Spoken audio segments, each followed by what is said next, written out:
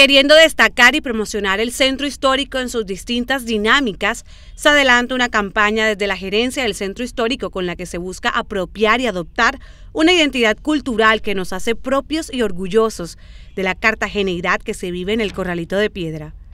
Hemos desarrollado desde la gerencia una estrategia para esta Semana Santa que hemos titulado Vamos para el centro. Es una forma de resaltar, de, rescatar y ponerle foco a unas dinámicas positivas de esas que nos permiten sentirnos orgullosos de nuestro patrimonio como cartageneros.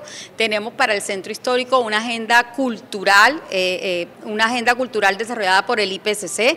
También tenemos una feria gastronómica, una de las más deliciosas que representa nuestra cartageneidad, que es el Festival del Dulce que se realizará en la Plaza de los Coches.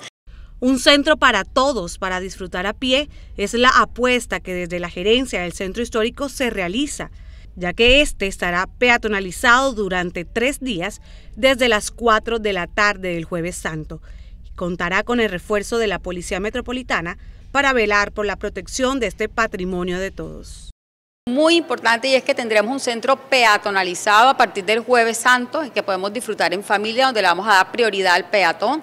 Eh, realmente queremos que nos apropiemos de este centro histórico, que seamos unos grandes anfitriones como cartageneros, pero también llamamos a la corresponsabilidad a todos los visitantes, a, toda la gente eh, nacional y exterior que nos quieran visitar, que puedan disfrutar el centro con un turismo familiar de verdad y que podamos, vamos para el centro todos.